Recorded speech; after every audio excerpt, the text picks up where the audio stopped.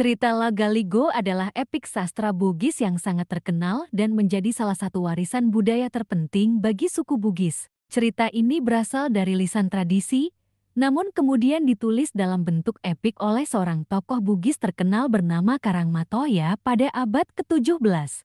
Lagaligo menceritakan asal-usul dunia dan manusia, serta petualangan tokoh utamanya, Saweri Gading. Kisah ini dimulai dengan penciptaan dunia oleh Batara Guru, dewa tertinggi dalam kepercayaan Bugis. Batara Guru menciptakan langit, bumi, dan segala isinya. Kemudian, ia menciptakan makhluk pertama, seorang dewi bernama Wetenriabeng yang kemudian melahirkan seorang anak laki-laki bernama Sawari Gading. Sawari Gading tumbuh menjadi sosok yang luar biasa dengan kekuatan dan kebijaksanaan yang luar biasa. Ia memiliki banyak petualangan yang menguji kemampuannya, termasuk menghadapi berbagai makhluk gaib dan mengatasi cobaan yang sulit. Pada akhirnya, Saweri Gading menjadi raja dan memerintah kerajaan.